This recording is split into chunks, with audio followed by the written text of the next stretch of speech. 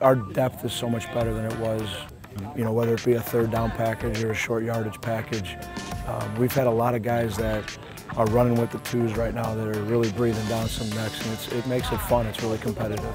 It's a lot different than what they did in the past, and you know, I give the players a ton of credit because we give them a lot, and they've handled it really well. Nice job, nice job, nice job, nice job, Bell. You're doing some really good things.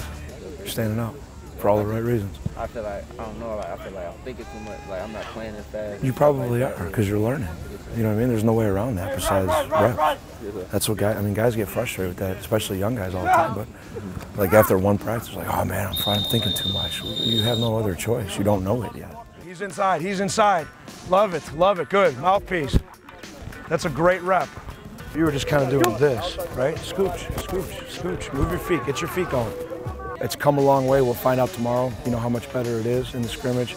Um, but tackling is, is, is everything. I mean, if we're going to do what we want to do, we have to be able to tackle the ball. That's it! Yeah! Nice job! Nice job! You know, some of the other guys, too, are really kind of fighting to, to show that they belong and, you know, that they can find a role um, you know, one way or the other, whether it's special teams or, or special defensive packages. So it's a big day for everybody, you know, coaches included. We're making progress, and we see that, all right? We see it every day. We're making progress. Tomorrow is a huge day. Every single play, no matter what happened the previous play, whether it was good or bad, can we get lined up? Can we get the call? Can we get our eyes where they're supposed to be and just do our job? So tomorrow we need to take a big step forward in that area, and I expect them to. You won't hear me, Coaches will be on the sideline. Get the call, execute, do your job, have fun, dominate, play up to our standard, hold each other accountable. It'll be a really, really great day. It'll be a lot of fun. All right? Okay, let's go. I'm proud of you guys.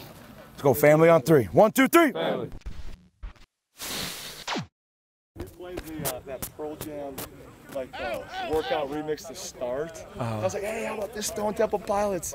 One of the kids was like, coach, this is Pearl Jam. I'm like, all that 90s grunge stuff is the same. Nirvana, that's all the same.